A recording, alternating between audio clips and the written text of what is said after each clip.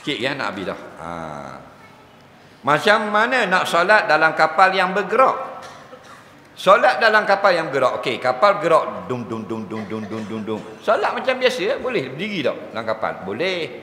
Dalam bot nelayan besar tu boleh. Yang tak boleh ketika ribut, brum brum brum baru semayangnya duduk atau ketika air kucah, dah gedak gedak gedak gedak gedak mau berdiri jatuhlah air. Nah, ha, jadi kalau dalam kapal, ni soalan bukan bot, kapal. Lebih lagi mudah. Faham? Kapal tu besar. Berdiri macam biasa wajib. Salli qaimah, wajib solat berdiri. Okey, ni kapal nu kiblat. Kita semayang menghadap kiblat. Tiba-tiba kapal rakaat yang kedua semayang subuh, kapal tu kona.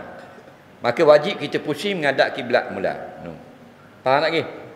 Ha, nah. Kapal tu betul balik menghadap kiblat, kita pun betul balik jadi kiblat balik. Faham?